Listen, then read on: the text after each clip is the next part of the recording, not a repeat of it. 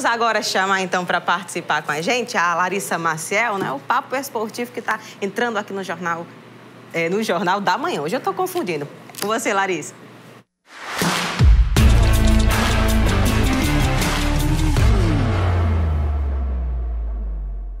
Passada a primeira semana útil do ano, o novo secretário de Esportes, Júnior Xavier, já começa a divulgar os nomes que farão parte da sua gestão, pensando o esporte moçoroense como um todo. Nomes muito conhecidos do cenário e também de outras modalidades, como por exemplo, Mário Paz, do tênis de mesa, Dedé Barros, do vôlei moçoroense e, além disso, Guto Firmino, mais voltado para o basquete. Outro nome mencionado e já confirmado é o de Ayrton Lenner, preparador físico que também trabalha no Mossoró Esporte Clube. Uma parcela também de quem sabe um trabalho mais voltado para o futebol amador e também ao mesmo tempo profissional, uma vez que ele conhece esse ambiente do futebol moçoroense. Nomes interessantes, já bem postos e que também apresentam um alinhamento de pensamentos. Quem sabe muito em breve teremos novidades quanto ao calendário esportivo de Mossoró.